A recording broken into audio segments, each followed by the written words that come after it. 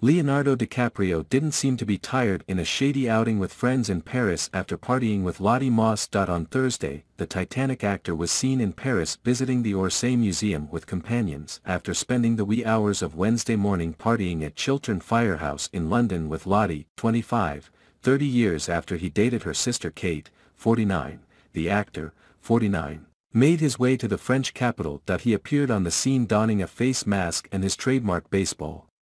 cap as part of an all-black attire the killers of the Flower Moon actor wore trainers, a slim-fitting pair of trousers and a quilted jacket, despite spending a late night in London the night before, Leo didn't exhibit any signs of fatigue, meanwhile, Lottie was captured on camera at the Pretty Little Things celebration.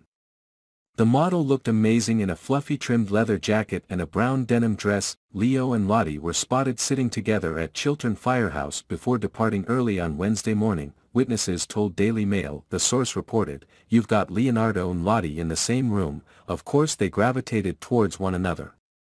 They added, they were chatting and giggling until the small hours when it was time to call it a night. They left the club in the early hours after having a whale of a time. It got people talking, they are both celebrities who enjoy a good time.